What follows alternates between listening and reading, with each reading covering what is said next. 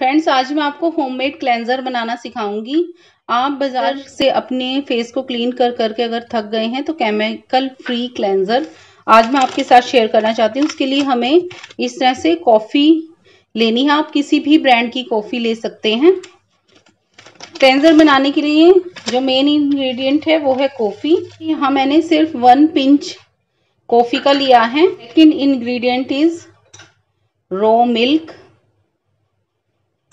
यहाँ मैंने इसमें कच्चा दूध ऐड किया है।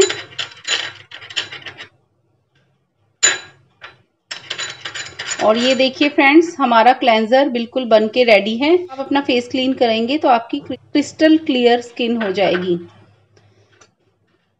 ये आपके फेस को वाइट करेगा, टोन करेगा, रिंकल फ्री करेगा। और जब आप इसका, इसको यूज़ करेंगे तब आपको रिजल्ट्स बिल्कुल विजिबल होंगे।